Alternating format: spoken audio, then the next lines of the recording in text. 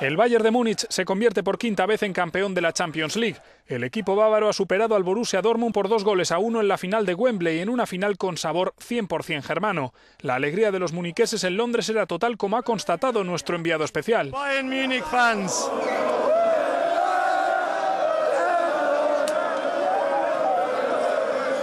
This is Mark Davis. Euronews.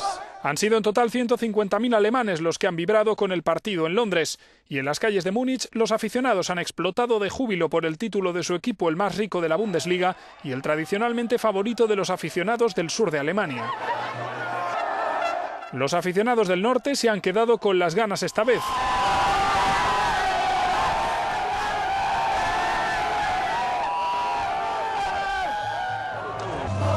En Dortmund, caras largas para un partido que vieron muy igualado, pero que se les escapó en el último suspiro con un gol de Robben. Decepción de los de Klopp, alegría de los de Henkes, satisfacción en general para el fútbol europeo por el espectáculo visto.